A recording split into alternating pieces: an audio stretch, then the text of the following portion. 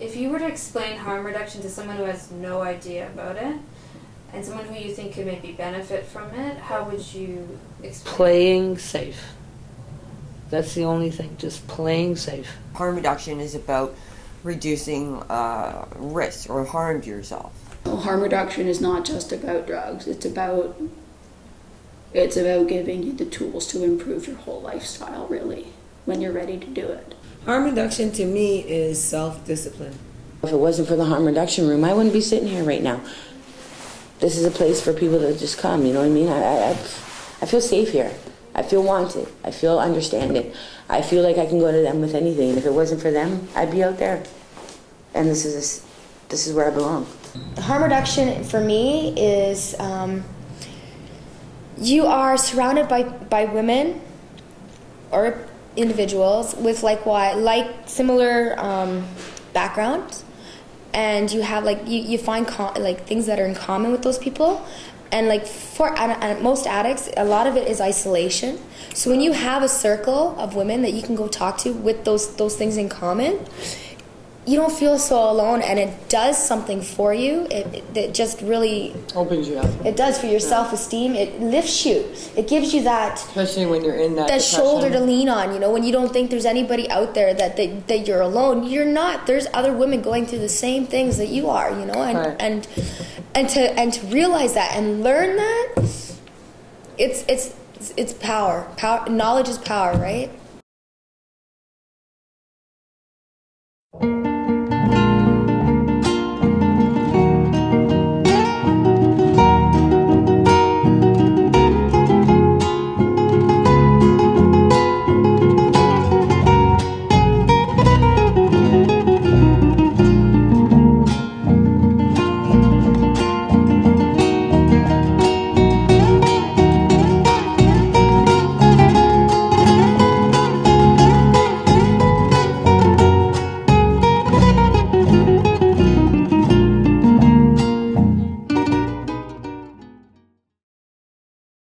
because a lot of people come from broken homes and there's not enough counselors.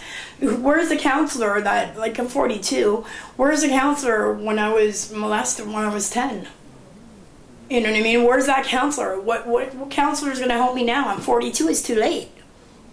Right? Like nobody's going to help me now i'm too old. Where back then when i needed the help back then it wasn't there it wasn't available so i meditate on drugs My addiction is uh, a pain reliever. Um, I, there's a lot. I have a lot of emotional pain, and um, drugs are a good way to uh, avoid that pain, and even physical pain. It's there's you know it has a way of relieving physical pain also.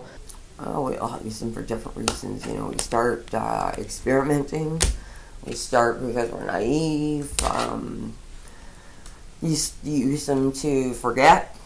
Um, sometimes to remember. You know, but um, mostly I find I use it for an escape.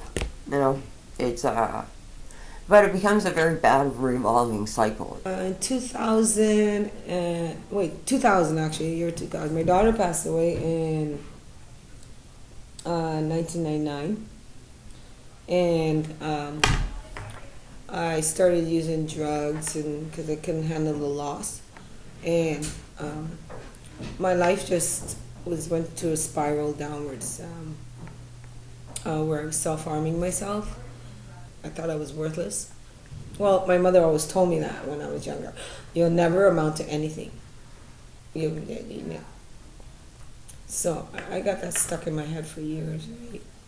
People who, who don't have the addiction problem or who don't have this disease don't understand it. Nobody can understand what we go through unless they go through it themselves. And there's a lot of stigma around us because there are people who rob, people who lie, people who steal, steal, cheat, whatever, to get what they need. But um, these things have a like a really good hold on us, and a lot of people will do whatever it takes to get it, and other people, you know, they may get hurt by it. So that's you know that's where the stigma comes in. Is well, she wanted to get high, so she stole my wallet or whatever, right?